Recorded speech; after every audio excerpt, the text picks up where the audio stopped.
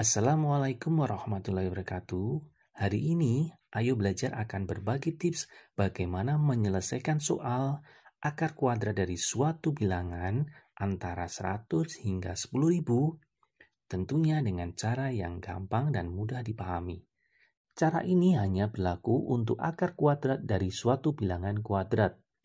Contohnya, akar kuadrat dari 36. Berapakah akar kuadrat dari 36? Yang kita tahu 36 adalah hasil dari 6 pangkat 2 atau 6 kuadrat. Nah, 36 inilah yang dimaksud dengan bilangan kuadrat tersebut. Sekali lagi, cara ini hanya berlaku untuk akar kuadrat dari suatu bilangan kuadrat. Di sini saya sediakan tabel hasil kuadrat dari 1 hingga 9 yang akan membantu kita menyelesaikan soal akar kuadrat. Saya sediakan tiga soal. Yang pertama, berapakah akar kuadrat dari 144? Yang kedua, berapakah akar kuadrat dari 529? Dan yang ketiga, berapakah akar kuadrat dari 4761? Kita bahas soal yang pertama. Berapakah akar kuadrat dari 144? Sebelumnya, yang perlu kalian ketahui, akar kuadrat dari suatu bilangan antara 100 hingga 10.000, hasilnya pasti terdiri dari dua digit.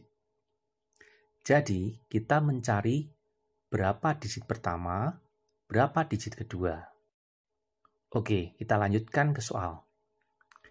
Berapakah akar kuadrat dari 144? Yang pertama dalam menyelesaikan akar kuadrat ini, 144 kita tandai setiap dua angka dari belakang.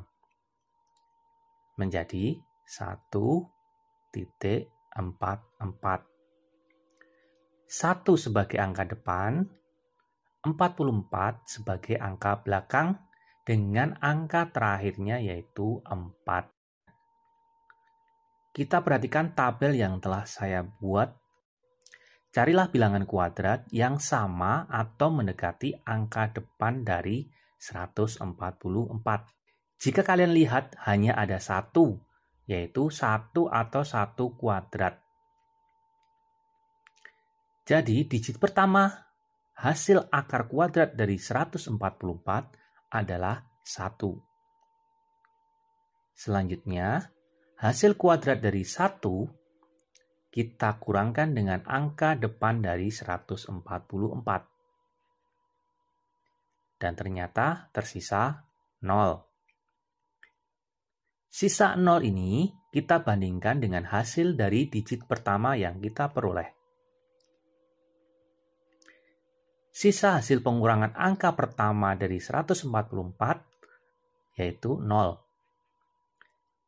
0 ini lebih kecil dari hasil digit yang pertama yaitu 1. Lebih kecil akan kita gunakan untuk menentukan digit kedua. Sekarang kalian perhatikan angka terakhir dari 144 yaitu 4. Kemudian perhatikan tabel kuadrat sekali lagi. Carilah bilangan kuadrat yang angka terakhirnya sama seperti angka terakhir bilangan kuadrat yang kita cari akar kuadratnya. Ternyata ada dua, yaitu 2 kuadrat sama dengan 4, 8 kuadrat sama dengan 64. Maka kita ambil yang paling kecil, 2 kuadrat. Sehingga digit kedua dari akar kuadrat 144 adalah 2.